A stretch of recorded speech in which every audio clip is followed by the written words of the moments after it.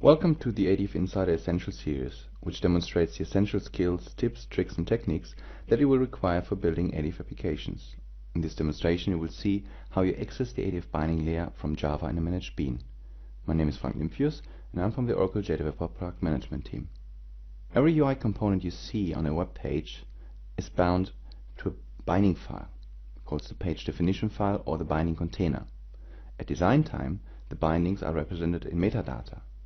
At runtime, they are represented by Java objects that can be accessed from a managed bean in Java. At runtime, a binding container is represented by the binding container interface class or the DC binding container implementation class. Iterators are represented by the DC iterator binding, attributes and their values by the attribute binding, tables and trees are bound to the JU control hierarchical binding, lists are bound to JU control list binding, and actions and methods are bound to operation bindings. So these commonly used binding objects can be used in your application development to access the binding layer and to execute operations on it. But how do you access the binding layer from Java?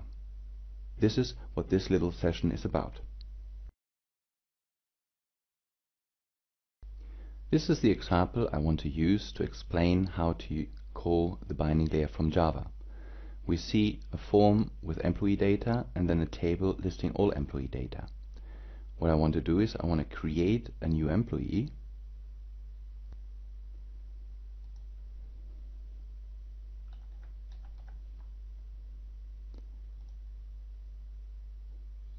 So now what I want to do is that when I press the submit button that two things happen. First of all the new record should be committed to the database and second, with the same button press, I want to requery the table to show me all the employees that actually work in the IT department. And here it is. So I commit the data and I requery the data that is available for this department and you see my name listed there. So let's see how we built this.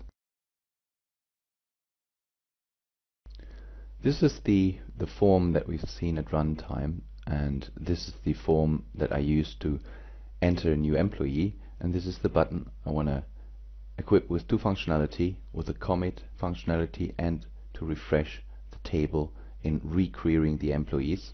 And the requery of the employees is handled by an execute with params. So I created a view criteria on the employee view object. And this view criteria is what I will populate with a bind variable and then execute. So first of all, we start dragging and dropping the commit operation because that's one of the functionalities that we want to have onto the submit button. I want to keep the name submit and I want this button to always be enabled. So this configures the action listener of this command button to point to the binding layer. The next step is I need to create the execute with params binding reference which I do from the binding section. Um, keep it with action because this is what it is, an action. And here I select all employees, execute with params. I don't need to bother with the argument here because this is what we programmatically include at runtime. So this part is done. The next step now is to create a managed bean that executes the button. So if I double click on this button, then Oracle JDeveloper helps to create the skeleton or the start of the managed bean. So let's call it employees bean and have it generating the class as it doesn't exist. So this now is on commit. So we know what it's doing. And I ask it to generate the ADF binding code for the commit operation. Remember that the commit operation already is referenced from the action listener in the binding layer, so we want to keep that functionality and have the system generating the source code for that. So here what we already see is we have access to the binding layer, and this access to the binding layer is through the binding context, which we see here, get current, get current binding entry. This always points you to the current active binding container and you can use that in your own code as well. And then what it does is it accesses the commit definition in the binding layer to execute the commit operation. So we extend now this functionality because what we wanted to do so first of all we want it to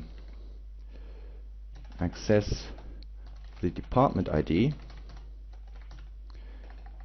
then we want it to access and execute execute with params and then eventually we want to refresh the table so that it shows the detail.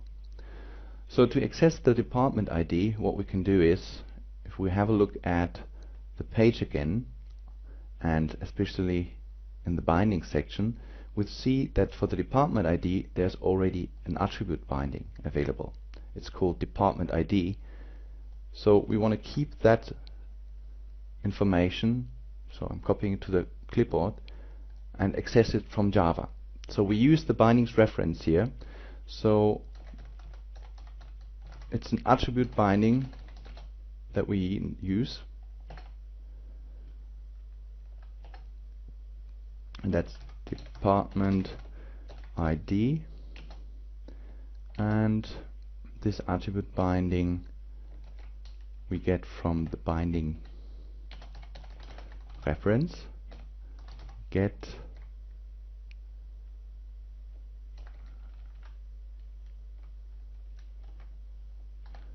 so here I copied the wrong information from the clipboard. Just put that in here instead so this is our access to the department ID so the new employees department that I assigned the employee to. So the next step is I want to access the execute with params. And as this is an operation binding as this one I can just copy the whole block of code copy it here and just rename the duplicate. So just rename it to operation binding 2 in reality you will choose better names than that. So object result just in case the method returns information to me like true false or whatever the method returns. Now what I need to do is before executing the method is I want to pass in the department value as an argument to the execute with params. So first let's have an access to the execute with params. So we created the execute with params in the binding layer here. So we can get the ID of the binding. Just in case you want to rename that we get it from here and change the commit operation of our copy to use execute with params so next step is that we need to pass in the argument and again the argument expected by the execute with params operation is dept ID variable which is defined as the bind variable in ADF business components. So what we do is we call operation binding to and now it's get parameter map. And now put the name of the argument and then the value. And the value is department ID get input value. So this gives us the correct type of the argument and then after this we execute the method which means that the bind variable is populated the view object is re-executed and the binding layer is refreshed so the last thing we need to do is to display this in the table itself. And for this, we go to the design time, select the table. Here's my table. And on the table, we do have a property called binding. This is not the ADF binding, it's the component binding and the component binding helps us to get a handle to the table in our Java class. So we choose edit, then we choose our managed bean, and then call it the employees table. And this creates a setter and a getter method for the table in the managed bean. So last step is to refresh the table and here's our table variable. And here we use the ADF faces context. ADF faces context get waiting for the import get current instance then add partial target and just pass the reference of the table in. So now what happens when we press the submit button? First of all the form is committed. It's the first operation that it's doing and it's accessing the operation binding that is configured in the binding container which is a page definition file. So then we chose the same binding reference to get access to the attribute binding representing the department ID in the form. We stored this in a variable of type attribute binding to then create a second operation binding to point to the execute with params operation. And here as an argument we passed in the department value which is the attribute binding get input value and executed this operation after which the view object for the employees is re-executed. And to surface this in the table we just added a partial target and refreshed the table.